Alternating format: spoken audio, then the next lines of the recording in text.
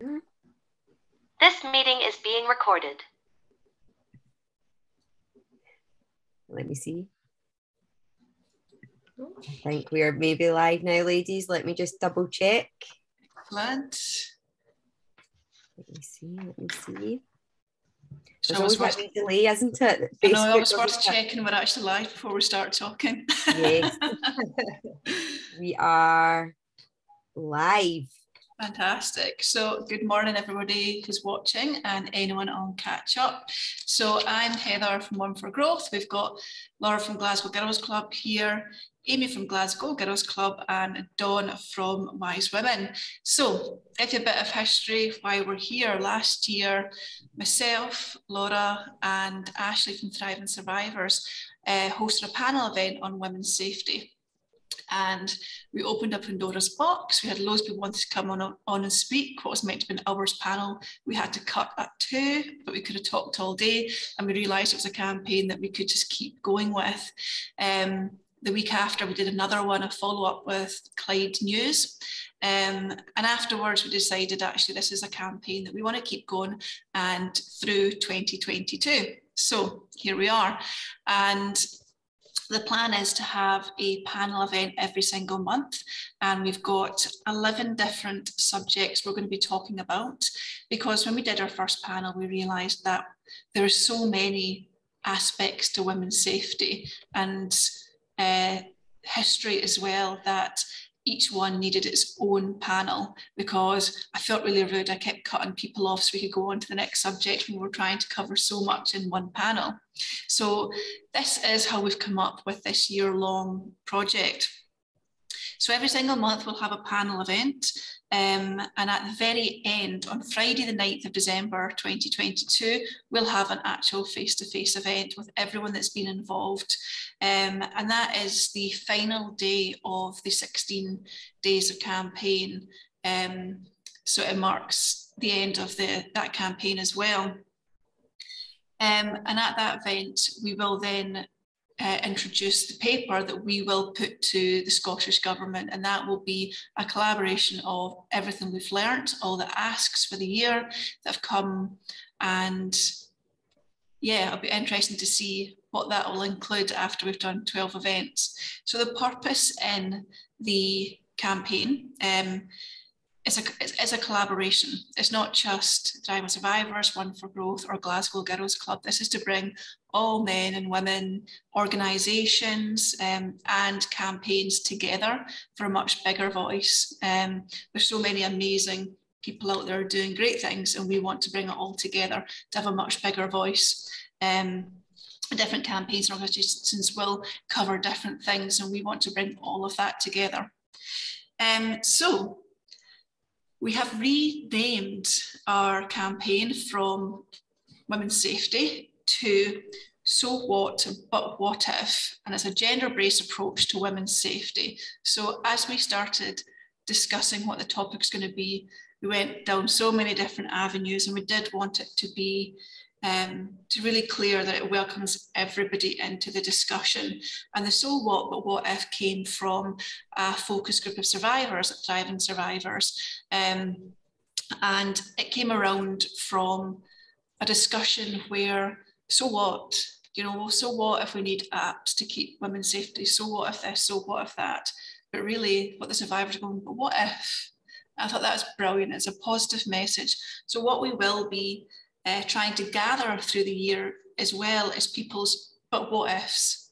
Yeah. So if we c- can, uh, at the end of each of our panel events, ask you, but what if, do you know what, if you could have a positive outcome from the discussions we have, if you could have an ask as to what next, what's a positive outcome that could come from the so what, then what we want to do is gather all these what ifs. And that's people on the panel were asking, but also people watching. If you've got a what if, then we'd like to hear it. So that's an introduction to our campaign for the year.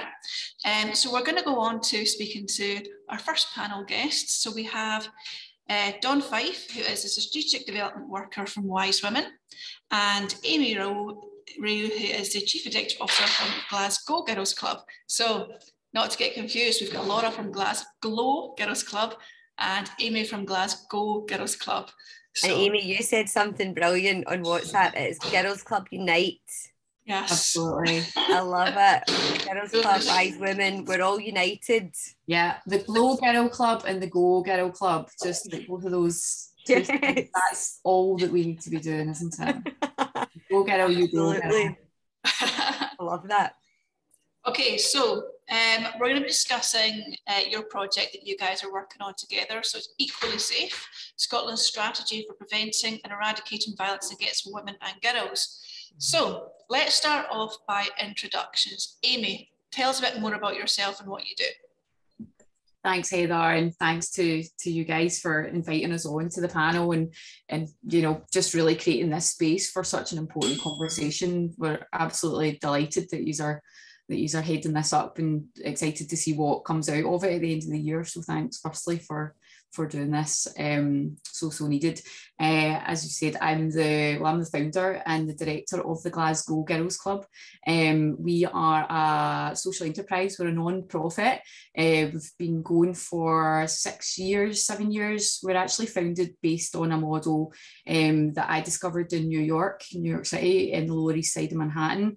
Um, I'd actually moved to New York uh, 2012 and I discovered this amazing organisation that were just doing fantastic work for girls and young women that were based in the Lower East Side. So it was a lot, it was a project basically, sort of Alphabet City, um, and just a lot, a lot of uh, sort of ethnic minority groups and the, the girls with incarcerated, incarcerated parent, um, lots of sort of issues around sort of addictions and things like that. So um, they had created this space that was basically they, they were just about to launch the venue. It was after 20 years of of the inception of this amazing venue. It was a $20 million venue with three floors for the girls, 10 floors of social housing. Um, and it was all about, you know, really just create that sort of thing of you can't be what you can't see. So it was all about creating that beautiful space for, for these young women that were coming through um, sort of tough backgrounds, not a lot of opportunity. Um, and they just they, they just fabricated this amazing building with amazing opportunities for education, for networking, and, and what that was really about was um, a, a, an equal playing field for all girls. Um, so it, wasn't so much about, you know, as much as they had, it was a space for girls who were, for want of a better phrase, uh, coming from an area of deprivation. It was more about just bringing everyone to the same level. So, you know, everyone was welcome. Um, and it was very much supported by a sort of uh, a, a, network of women who were already successful. So there was um, Rosario Dawson who's on the board, who's a, a Hollywood actor.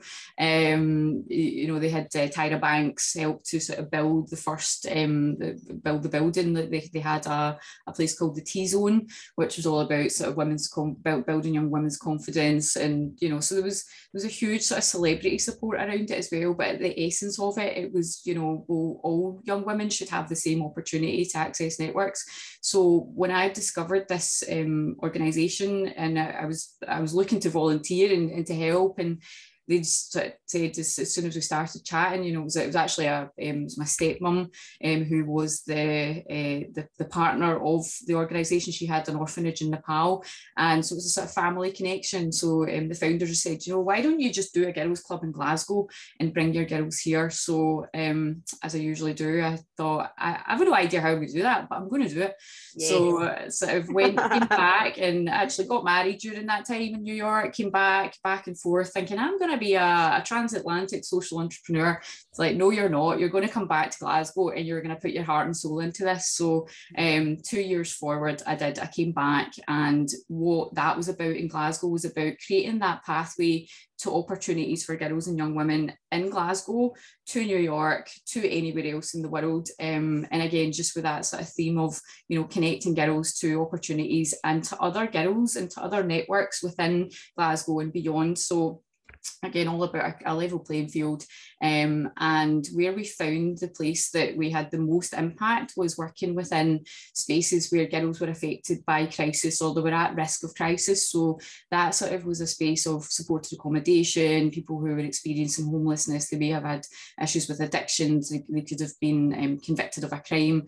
So we sort of found that that was a space that we we worked best. Um, and from there that sort of led and at, at that same time I actually got involved in technology technology, which sort of leads into where we are today. Um, and I worked for a startup for five years uh, during that time of, of the Girls Club being uh, and underway.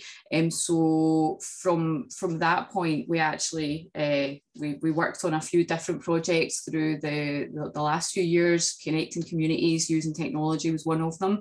Um, and here we are today. We're working um, with Community Justice. We're, we've just built an app for Community Justice for Glasgow City Council. Um, Um, and we're now working with the amazing Dawn and Wise Women who can describe what, what we're doing. Um, but yeah, we're sort of, so we're, we're straddled between technology, so tech for change, um, connecting girls who are at risk of, girls and young women who are at risk of crisis um, or who are coming through crisis. So, but again, we're, we're open, we, we always get, um, we get asked, you know, could, can I bring my 14 year old along and can we do that? We're, we're open to everyone coming along to the Girls Club. And, and I guess that really is the beauty. It's not really about, oh, we're only going to serve underserved girls. We're only going. We're, it's like no, this is about everyone coming together. And as we said at the start with, with Laura, it was the first time that we've met Laura, isn't it? And you know, just that power of networks. You know, and yeah. and, and it not being about oh well, we came from the the justice side of stuff, so that you know, in the way that Heather and I had met was through justice. You know, and mm. just the power of women coming together is is really what we exist to sort of um, shine a light on. And and I guess that sort of is so perfect for what we're talking about today. So so that was a very long introduction, but I think it's all relevant. So yeah, I loved it. And I actually can't believe we've not met before this time. Amy. You two are like the same person. I know. How's the But you know what? Sometimes things happen just at the right time, don't they? And I can't imagine a more pertinent Absolutely. for us to be meeting to, to discuss. So thanks for having me. Oh, definitely. And I love any project that is brings people as an, an equalizer as well. So yeah. um and I think the ethos of your company and what you do is, you know, it fits perfectly into the campaign as well. So um, on to you, Dawn. Introduce yourself and tell us a bit more about Wise Women. Sure. Thank you very much for inviting us along. How exciting is this? Who would have thought 2022 was going to be so exciting for women's safety? It's uh, it's actually mind blowing. Um, thank you so much for inviting us along, and um, thank you for everybody that's watching as well. And uh, uh, we hope everybody's uh, keeping well. And we're moving into a new time in 2022 when we actually get to see one another face to face. Never mind anything else. Um, Wise Women, oh, what to say about Wise Women? Wise Women is an organisation that's funded through Glasgow City Council. Um, it was established in 1994, um, and at that point, um, women struggled with some of the language round about some of the violence and abuse they were experiencing. So we just started to talk about um, kind of domestic abuse. and um, there were still other issues that we hadn't acknowledged yet, and there was other issues that we knew about, like child sexual abuse, but we, we didn't really like to speak about it. Um, particularly women who were coming from that background and who tried to speak about it before and, and people hadn't listened. So we, Wise Women was created to offer women an opportunity to talk about the harassment and abuse that they could talk about, and that was in public spaces. Um, so we bring women into rooms, bring them together, share their experience, and inevitably what would happen is women would talk about some of that more intimate violence, whether it was domestic abuse, whether it was child sexual abuse, um, exploitation through prostitution. So women started to talk about that as well. And the way that we done that was we brought them together um, to do personal safety courses. So the personal safety courses continue, um, although it's been uh, restricted by COVID, as has the rest of the world. Mm-hmm. Um, but the personal safety courses were about giving women defensive um, actions that would protect them at point of attack, but also that would build their confidence to be in public. So it wasn't about restricting their presence in public. So it wasn't about don't be wearing earphones and don't be drinking alcohol. It was very much about whatever circumstance you're in and how you respond to that is completely legitimate. Sometimes that's by not doing anything. Sometimes it's by being quite forthright and forward. Sometimes it's about how we use our voice before and afterwards. So, do we report it? Are we speaking to our counsellors about it? Things like that. So, it's the whole continuum of how we respond to violence and abuse around us. Um, from there, the was kind of discovered that often for women it was confidence that was an issue as well, because when it was intimate relationships where women were worried about how it would impact in the long-term relationship, or where they knew they had to go home with the person, um, then it would it, it, would restrict what they could do. So confidence building was built into the programs, um, and we continue to do that today. Interestingly, women now have the language over the last few years. We have been talking about women do have the language now about domestic abuse, child sexual abuse, prostitution. Um, but um, so we were, we're going, maybe we need to look again at how we develop that, that understanding and, and work with people to do that. And when COVID hit, we've got really involved in strategic work. We've always done, done consultations with women, but strategic work's been a really, um, it's really opened up for us in the last two years.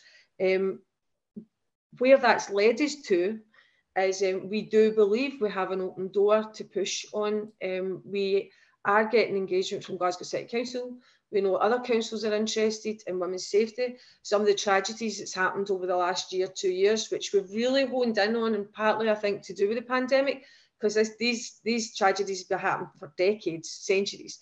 Um, so uh, we've really honed in and, and thought about it. Um, it's brought us to this place, and I think it's dead exciting that it is about bringing people together. It's about bringing women's voices to the forefront and women's safety, particularly at a time where we're looking at how we restructure our cities to respond to environmental issues. It was really important that women are involved in that. And Glasgow is the place to be because Glasgow's got a huge history of um, feminist um, approaches to violence against women.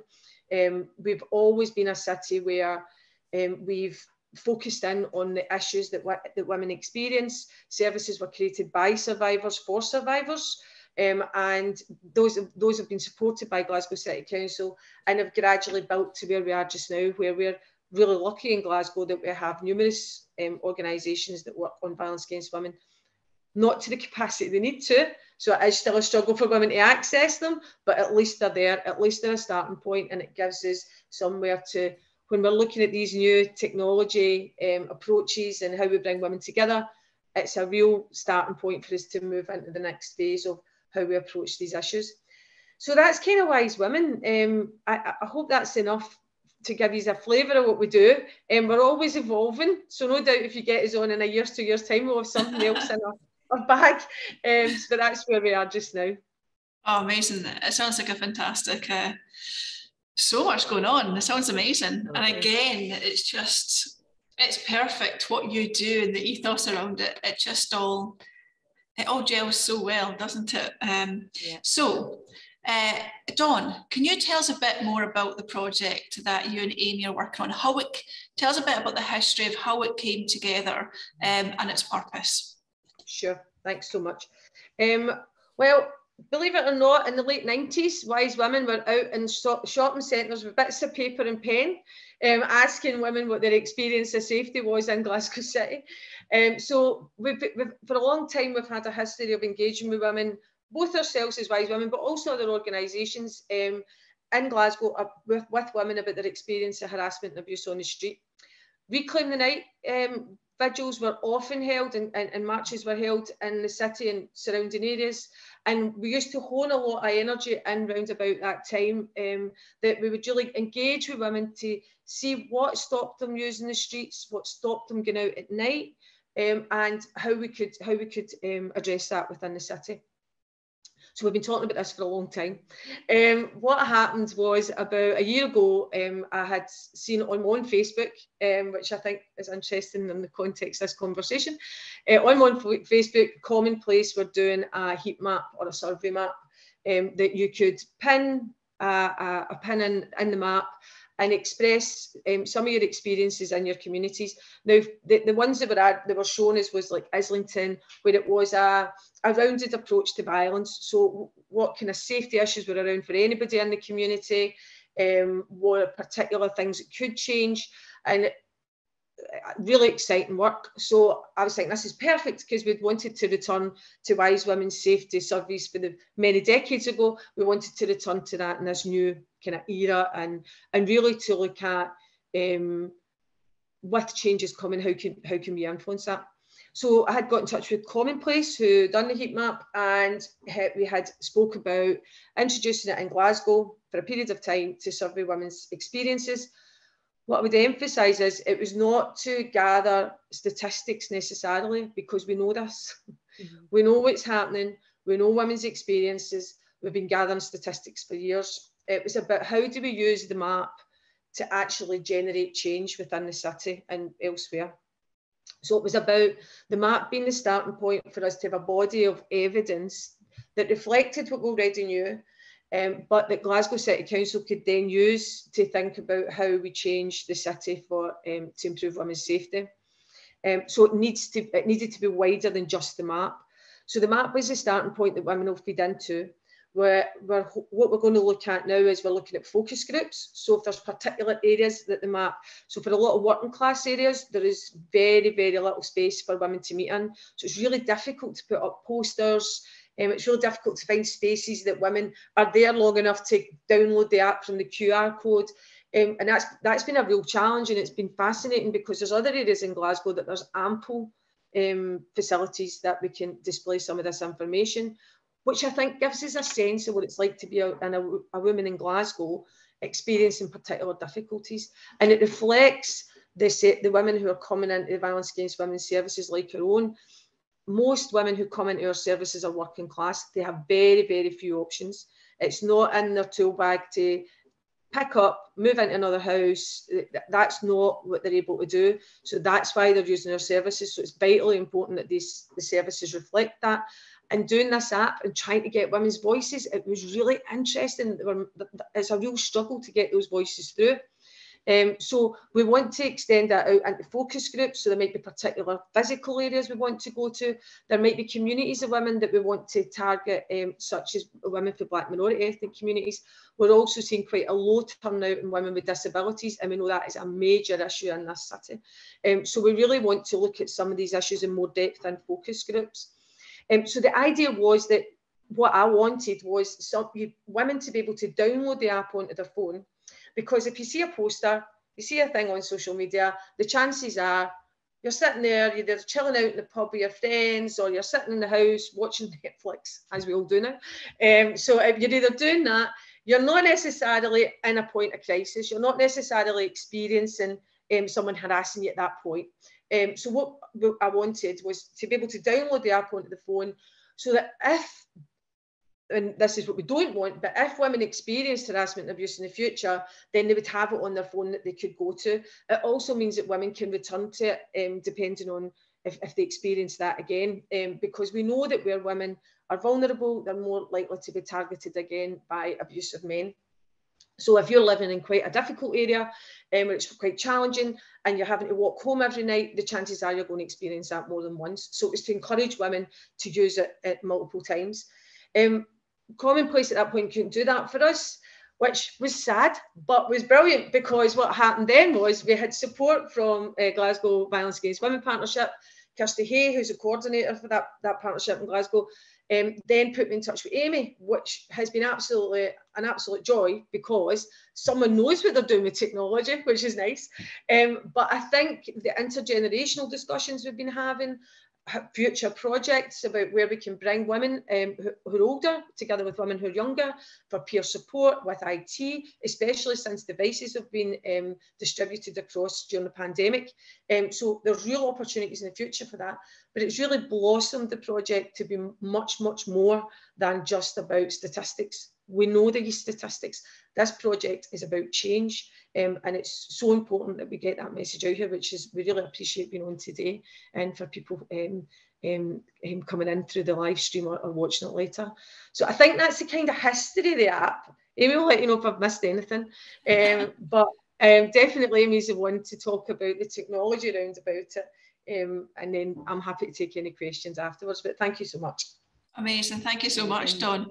Sounds amazing. Do you know, and your enthusiasm for it as well is infectious. Um, it's funny when you were saying actually about the repeat areas, um, and I'm sure I guess that's what this email test technology and how this will show show that as well. But I remember I had this discussion with Laura. I remember being my drink being spiked in Glasgow 18 years ago, and the same place is still getting reported for drinks getting spiked. And it just shows you that actually it's not recorded anywhere, it's still happening. And hopefully, this is a sort of app that will make that more apparent as well. So, anyway, Amy, over to you. So, tell us how this app works, how people can use it, and a bit more detail about the practicalities around it. Okay, you set me up there, Dawn. I don't. I mean, as much as we do technology, I have never written a line of code in my life, so I struggle. I struggle. We have we've got some great tech minds that um, are actually sort of former colleagues of mine from my tech startup days who've just sort of been along with me on my crazy ride with the Girls Club since the start, really. They were actually our first um, sponsor, uh, the, the tech startup that um, I worked for. They, they did an event in New York for Tartan Week, um, and we gave them use of the Girls Club in New York as their venue. It was during all the independence referendum stuff. So um, they became our first sponsor, and you know, as, as things sort of unfolded, we actually um, ended up doing uh, work with them as we sort of move forward and um, they're just amazing. Stuart and Stuart, like guys, we're just we the, the women of, of Glasgow are, are so grateful to you right now for for the, the support that you've given us. So um yeah, so as, as Dawn said, the um the the commonplace technology is essentially the, the heart of, of the app that, that I can give you a wee demo of in a second. Um, but what that means is that the, as Dawn said, it was it was accessible. The, the, the heat map was accessible via a, a web link, a URL, um, which is, is great and it's a really powerful technology. Um, but as Dawn said, you know, we were just really conscious and, and, and aware that people weren't necessarily going to be knowing how to save that to their home screen. They weren't necessarily going to remember the URL. Um, so for the time that they really wanted to record those experiences, that you know the, the go, what's that? Where was that? Oh, mm-hmm. it's in my browser. Oh, somebody sent it to me. Who? So for us, you know, as the Girls Club, being able to sort of step in as a, a Tech for Change um, facilitator, we were able to sort of pick that up and, and really sort of deliver quite quickly on being able to turn the, the map into an app. Um, so I always think that really funny to see that. Um, but yeah, the map is now living within our app. So we created it first as a progressive web app um, for any techies out there that, that would that be interested in that, this terminology. Um, but we created it as a progressive web app first, which meant that it was accessed still through a, a, a, URL. So it was accessed through www.womensafety.scot. Um, uh, we're going to share all the information um, uh, towards the end, so don't worry, you don't need to write anything down. Um, but we, we, we, were able to access it very quickly through womensafety.scot, which would take you out to what looked like a web browser, but when you are prompted, you can actually then add that to your home screen, which then turns it into a progressive web app. If you were on Android, Android would automatically give you a prompt to say, do you want to add this to your home screen, which would then allow you to have sort of easy access to it. Um, and then we also have it as a native app now, so uh, we can access it through the Google Play Store and through the App Store as well. we are going to give you a QR code that will let you download it. Um, but yeah, so we've been able to do that, and it's been it's been really exciting. And, and for us, you know, as a as a startup sort of um, sort of tech uh, company, I guess, for third sector, because that's our, our, our, aim is to really demystify um, technology and, and sort of digital, we're a digital agency for, for third sector and public sector, so that when we do get these requests from um, small chat, small size charities um, like Wise Women who have two, two members of staff that say we want to build this technology so we can create change, but we don't really have a very big budget, you know, that we can sort of step in at that point and not only help to provide the technology, but also look at that sort of grassroots engagement um, and all of those other things, as Dawn said, that we're sort of discussing about how we can sort of move forward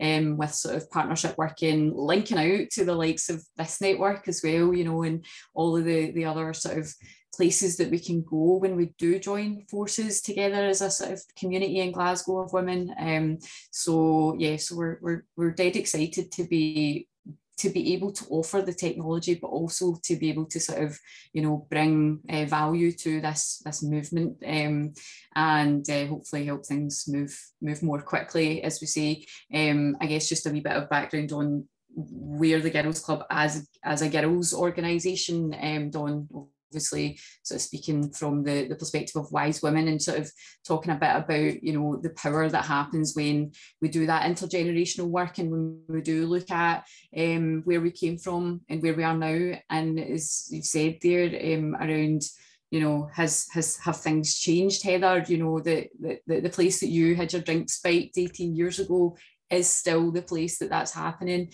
Um and that and that this is not a new conversation Dawn you know we've we've been in the streets. We've we've had the waves of feminism. We've had you know the conversations. We've we've been here so many times. And now where I get excited about where we are is that because of technology we can actually name it. And because of the, the move, this wall, I always think of, um, uh, by the way, the Girls Club always shied away from feminism as a title, you know, as an organisation. We was just like, we just want to connect women and girls. Like, we just, and I'm a woman, why do you do the Girls Club? Well, I'm a woman and I know that we have different needs and, you know, that's why we did it. So we always, we, we always tried not to get too involved in any of the sort of, you know, taking a stance about anything. We just wanted to get stuff done. Um, and I feel like now with technology and the, the, the, way that the universe has sort of sort of brought us all together is a time when the girls clubs actually just been you know we're, we're, we've got a big finger pointing at us going no you cannot stay silent anymore. Like you are you know whatever you consider to be feminist. Um you, you are a woman. This is a girls organization and there is a huge issue here right now. And as, as we've said you know these waves of you know feminism that have happened over the years um, I always think of it as a wall um, it's like when we look back to the suffragettes, when we look back to where we were, um, when we couldn't vote, when we look back to it's not even that long ago when you think of like the where we were. Um, and it's like every time we move forward, um, and, and it's like you, you sort of think, do we get where, where are we getting? We are, well, of course we're moving forward. Um, but when we think about sexual harassment and sexual abuse and is that moving forward and that i think really is the final frontier for us as women um, that we're now at this place of, of saying well you know these these waves and all the all of the ways that women have found freedom and that have been we've been liberated in so many ways um, and we're now at this final for me, it's the final frontier, you know, in technology, being able to sort of step into that at a time when, um, you know, women have never been more free. Um, there's so much more there, and it's not for this this actual um, this this talk this this this call, but the you know the, the role of the porn industry is Dawn and I have had so many conversations about this. There's a whole other conversation to be had, but where we are as women, with freedom, with sexual liberation, with all of this freedom that we have to be who we want to be. The fear for me as a woman who runs an organisation that supports girls and young women that are coming through this wave right now is what we see online and what we see on social media and what we see and what we hear of you know Dawn was telling me the other day you've got a 15 or 16 year old daughter you know having to have when we were when we were younger our parents were talking to us about sex education you know you know what happens and so right you know Dawn's now having have to have conversations with a 15 year old daughter about strangulation and you know being spat on uh, when you're having if you have sex and you're spat on. This is not normal these are not, this isn't what you should think of as normal because when young when young um, people are watching porn as their introduction to sex, these are things that are normal, you know. So having to have those conversations now with our young women is is absolutely gobsmacking because you know, as much as we're moving forward with with freedom and, and liberation, when we're having that at the core of what young women understand to be healthy sex practice, um, you know, and how that then feeds into what we're talking about with this narrative of violence against women and what is normalized. You know, this is just this is normalized. So for us, it's really you know that that that point in the conversation that, that Dawn and I are talking about, you know, looking to, to focus more towards young women to say, you know, at what point did I realise that you know I had been sexually harassed as a young woman because it actually took me a long time to recognise the points in my life that had been not okay. You know, there's been so many scenarios, and I'm sure everyone has that, where you actually look back and you go, I didn't know how to say no to that Yeah. I didn't know that that wasn't okay. I didn't understand that that I was being sexualized, that I was being objectified, that I was that that that, that wasn't a compliment, you know, Mhm. and for it to reach that point now of being 40 and to say, oh well, like where where are we and how are young women coming through this and where do they where how do we protect them from that um at the, at the point that we are right now? So um yeah, I feel like technology can play such a huge part in that and I guess um that's where with the Girls Club we're we're super passionate about how we can do the intergenerational stuff as well and how we can sort of bring all of the all of those sort of efforts over the years and over the the um, the movements together. Um, so yes, without further ado, I can show you. our Yes. Amy, I just have to say, I feel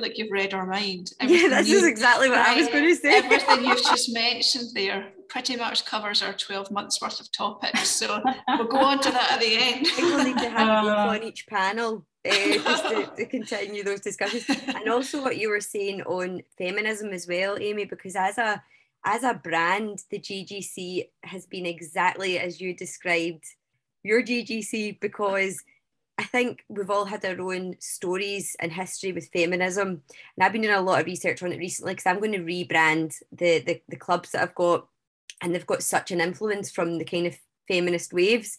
Mm-hmm. And the, we've gone through the like you say the history of you know doing it standing up for each other like having the getting the vote and then you know shying away from wearing anything that's provocative because we're not objectifying ourselves and then being super provocative because that's what we want to be and then hearing that actually feminism is a dirty word probably from the patriarchy. And you've had this kind of it has been a wave hasn't it and mm-hmm. obviously it's been clouded with a lot of you know negativity. There's been a lot of racism and different things going on in each of the waves but i mm-hmm. absolutely resonate with what you're saying. And this is this is uh, all of our collective time to bring about a new wave a new frontier to deal with all these really hard issues because actually these are some of the last things that we need to be very vocal about. And yes technology this is this is what is the difference between each of the different waves. We've now got the ability to connect with women all around the world which is what you're obviously doing um, right now. And you know, and Dawn, what you were saying about wise women connecting women in Glasgow, you know, helping them to talk about different things that they've been through and creating this app. It's just, it sounds amazing. So let's let's have a wee let's have a wee look at it then. Yeah. Let me show you. Thanks, Laura. Um, let me just share my screen. There we go. So here we are. Um, this one.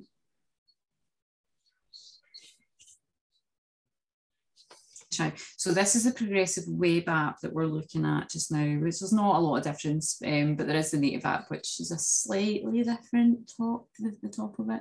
Um, but what we're looking at here is the sort of main page. So you can see here we've got the sort of joint conversation, we've got the wee disclaimer here as well. And just to sort of highlight this as well, that it's really important that this isn't a, a place to record in, incidents that have happened in your home.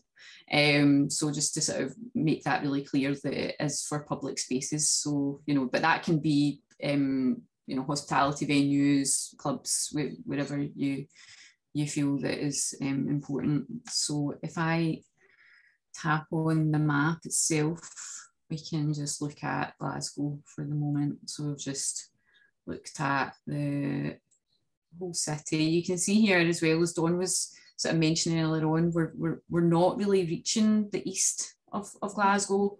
Um, so if there's anyone out there that's sort of networked in the east, we would really love it. You know, we can sort of give you the, the run through on how we can um, get everyone involved. But just to sort of mention that just now in case I forget that, you know, the east end is is a place that, you know, we really would love to sort of see. Obviously, we wouldn't. We'd love that we wouldn't see anything on there, but we actually had um, we, we do some work with some uh, local housing associations as well in the north of the city, in the northeast, and we were contacted by Rape Crisis to say, you know, we're not getting any referrals in Possilpark and Springburn, um, so you know we're, we really need to find the ways to make sure that people know that we exist and you know that they can reach out to us um so yeah we hope that we can by by doing these sorts of events we can find those networks so you'll see here there is um there's a hotspot as you can see here, which is Queen's Park, probably no surprise there.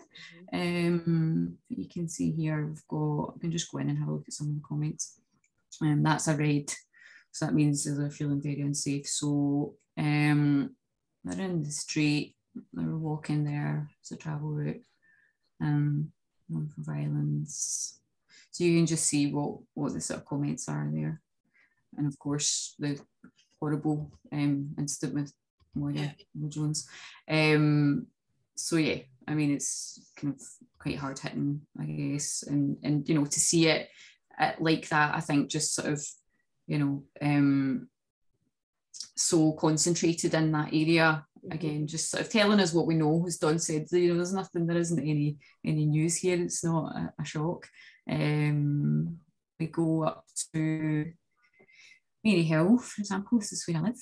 Um, and you'll see here, which is really interesting. And it's actually as we just continue having these conversations and sort of going about our, our daily sort of business with our own organisations. Dawn and I are having really interesting conversations based off the back of what we're seeing on the app. So, for example, we can see here the Stockingfield Aqueduct, which is a place. Um, I live just along the road here, and it's a, a private estate that I live on. It's, it's nothing fancy, but it, it's um, it's it's a wee sort of private place, it, right sort of in, on the corner there. And you can see here we have got a few comments. It's it's right beside the canal. You can see there's a few comments along that road, which is a very dark road. And what I always say when I talk about where I live, you know, it's, it's lovely. It's, it's got a nice sort of view of the canal. Um, you would not live here without a car. That you just wouldn't, and it, you know, and, it, and it's going back to that thing that we've just said there. You know, sort of normalizing these things of going, oh, you only live here without a car, and it's like, oh, that's because you're a woman. Um, and what was really interesting before we started doing this project was that um, this Stockingfield aqueduct here was a, is a 12 million pounds bridge project has just been um, almost completed. So they did community consultation on it and said, yeah, we want a bridge, we want more active travel. Um, we want people, there's a lot of bikes going along this, this route. We want to connect these, these areas at the back end here with Shuna Street and we want to make sure that people can sort of get, get access to the canals as well. So they did all of that. Um, and and what was happening in the conversations behind the scenes when that was all sort of coming about through my network and through some of the local um, organisations was you know, and when they sort of did a buggy walk, they they, they supported um, parents. It was a parents' um, charity. They said, you know, we we just would not walk on the canal like no women that I know would walk on the canal and they you know for them to have that built that that that new bridge is amazing but there's a huge issue when you, you're, you're doing that but actually there's still huge issues with lighting um, along there. So as you see there's four comments here. If I just look at one of them um, again a lot of a lot of people running on the canal. Mm-hmm. um, more lighting you know, is well known for drinking. We're kind of seeing all these sorts of comments.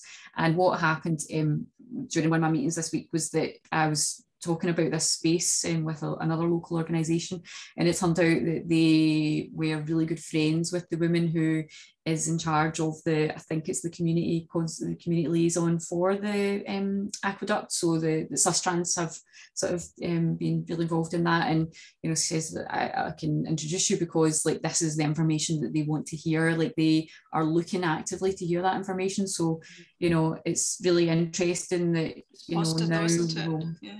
yeah, we're sort of like honing in on you know the the consultation that's happened already but the consult the questions were never asked and that's what's mm-hmm. really interesting i think about this is that you know as much as they're doing community engagement and community consultation when they're doing building work and i guess at the heart of what we're doing as well is to but we, were we considering active travel for women? Were we considering that a woman might not want to get a bike and she might not want to help to save the planet because really she's putting her safety 1st mm-hmm. Um, you know, and yeah. that's something that hadn't even occurred to me um, until COP26 was, you know, banging the drum to us all to get on your bike and I've got a bike. And then it, it was only at that point that I, it dawned on me. I'm thinking, I do want to be more active and I do want, but I wouldn't go on my bike because I'm scared on that canal. So, you know, it's, it's, I think it's like a, it, that, that whole thing about getting your needs met um, and women's safety being at the at the top of it for women, um, and how we haven't really thought too deeply about that at a community planning level. Um, so we're dead excited that that we can finally sort of start making those sort of connections through this um, type of technology. So you can see here, just this is how you would actually make a comment on the app as well. Um, it's kind of like a dropping a pin on your Google map or whatever. Um, so you just do that and then you can just go through. Um, it's quite easy to use, isn't it? To be able to yeah. select the boxes rather than type everything. Because I think that's what can put you off, isn't it? If there's too much typing, too many questions. Mm-hmm. Well, I can use it, Heather, so we're, we're, we're going We're all good. We're all good. so, so, and then, sorry. Dawn and Amy, how often then? So this is obviously amazing. You're going to get, like you said, the evidence of like women's experiences throughout Glasgow. So do you have like a time frame within you would take it to to somebody, you know, someone like the police and say, look, here's the evidence. Would, you, would that be like a regular thing, or is there like a time frame on yeah. sort of collating all this data? Yeah, well, we're, we're actually really fortunate time time wise. Um, Wise Women's involved in an organi- uh, sorry a working group called the Women's Workstream. And it's came from the Social Recovery Task Force that's dealing with coming out of COVID basically for the city. Um, the work stream exists because we recognised, ironically, that there was no evidence specific to women um, in Glasgow and limited ev- evidence nationally. So that's what the work stream's there for. We're having an event um, round about International Women's Day so we're really fortunate because the, the map stops on the 1st of March. Mm-hmm. Um, International Women's Day is the 8th of March, um, but we're looking at the event possibly on the 9th. Um, and we will be showing our initial findings there. Now, mm-hmm. that is going to be targeted at key decision makers in the city. So mm-hmm. we're really fortunate with the time and um, that we'll be able to straight away um, hit some of these um, working groups. So I include things like police, education, social work, uh, councillors, elected councillors. We've got an, a local election coming up that I'm sure everyone's dying to put their cross in a box. Um, but to, we will be using all of these um, timely things to, to promote the initial findings coming out and beyond. Um, what's great is we have got an open door. Um, Glasgow City Council is really engaged with this. The councillors are really interested in moving us forward. There's a cross-party motion put in to the Parliament before recess at Christmas and they committed to uh, making streets safer. As I say, saying it and doing it is two different things, um, but that's up to us. And, and when I say us, I don't mean Wise Women in uh, Glasgow Girls Club. It's up to all women to, to, yeah. to stand up and really support the voices of those in decision making positions to, to make the change and to put pressure on those that, that aren't ready to listen to women yet. So, yeah, we've got loads of opportunities, Laura, and, and but as I say, fortunate that we've in straight away we've got um, opportunities to to look creatively about how we, we persuade decision makers. Brilliant.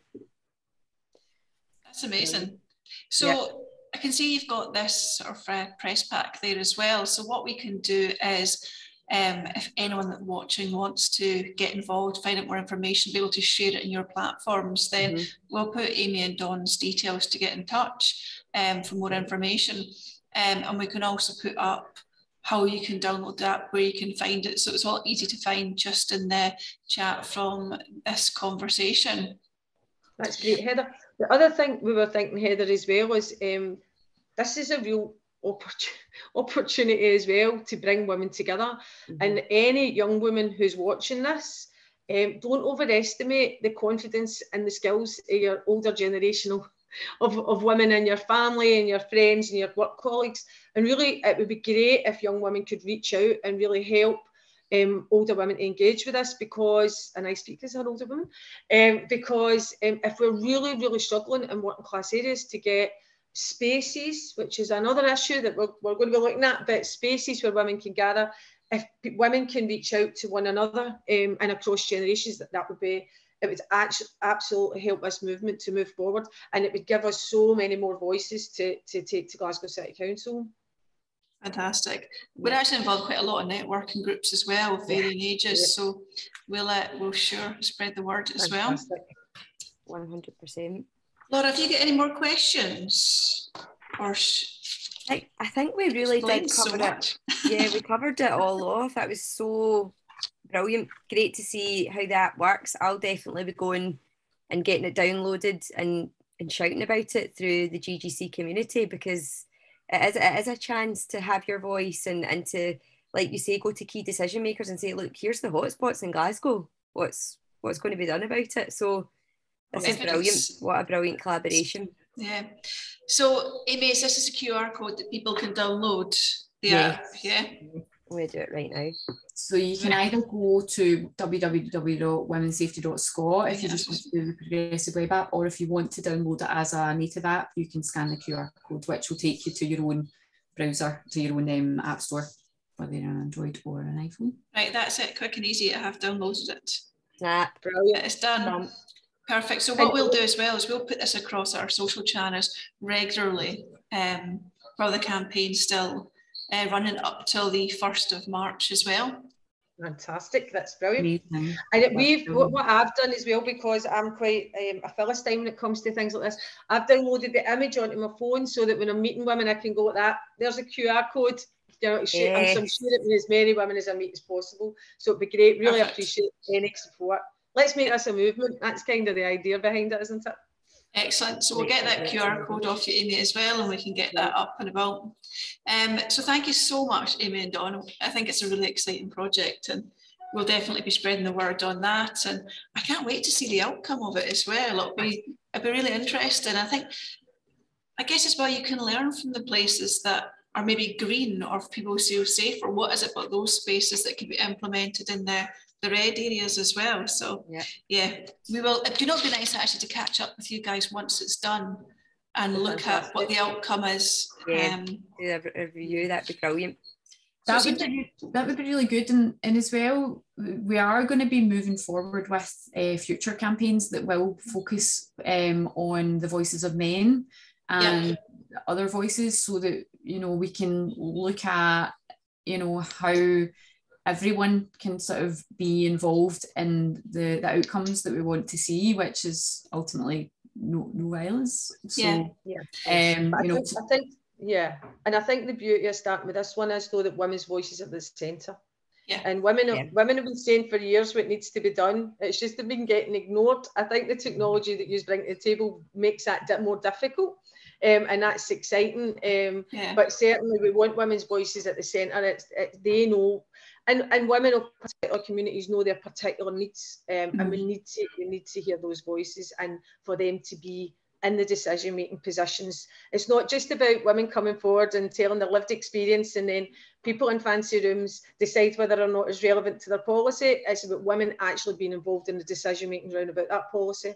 And that's the only way we're going to move forward. Exciting because we can. Um, there's loads of skills. Every every woman's got a, a, an experience and an opinion on these matters. They need to be heard, and that's that's the key bit. Totally agree. Yes.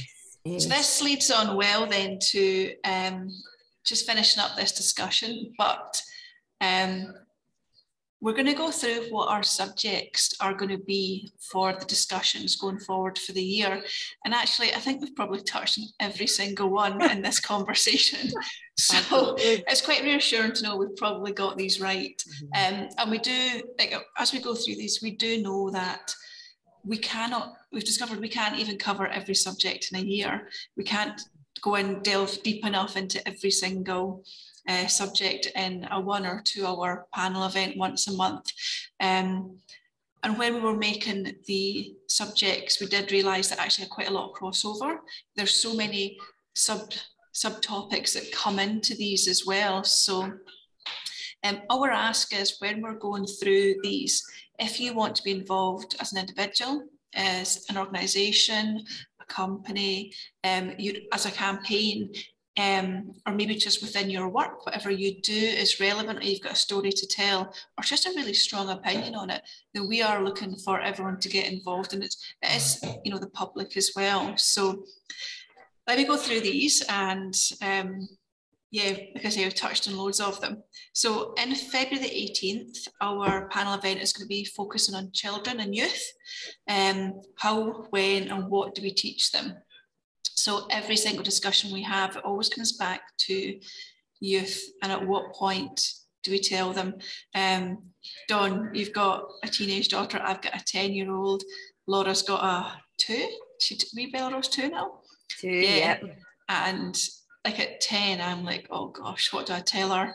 You know, you don't want to be naive, but you do at the same time. So um, yeah. yeah. we're going to be looking into that. And when we're talking about children, we covered we'll cover um, the availability of porn at a young age as well. I don't know if anyone else has watched um, the program about rape culture by Zara McDermott on BBC, but it was really interesting um, speaking to teenagers. A bit terrifying, but an eye opener and interesting nonetheless. So yeah, children and youth will be February. Um, in March the 18th, um, we're going a little bit different. We're going to be doing the success of women, just with it being International Women's Day and month um, in March. We're going to be speaking to um, a group of inspirational women, um, but not just about them, but looking at through the history, um, particularly through feminism as well, people that have made a change and have overcome um, potential safety issues um, to make a difference. So that will be March. Into April the 22nd, it's all about perception. So men's perception on women, women's perception on men, um, historical bias, and we'll be touching heavily on feminism in there as well. So looking at where where the violence comes from, and a lot of it will be historical issues that keep coming up. So that'll be April. Then we get into some real meaty subjects May, June, July, which are going to push the boundaries a little bit, but I think they have to be, we've all agreed they have to be addressed. So on Friday the 20th May, we're looking into pornography.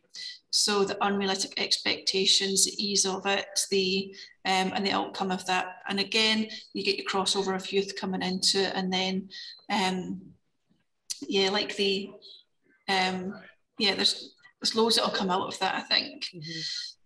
Then into June, we're talking about consent um, and everything that comes around consent. And I think that will be quite um, relevant after the pornography subject as well.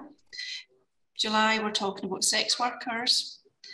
Um, into August, we go on to the queer perspective, so bringing in all your different gender um, roles and again, the perceptions in there as well.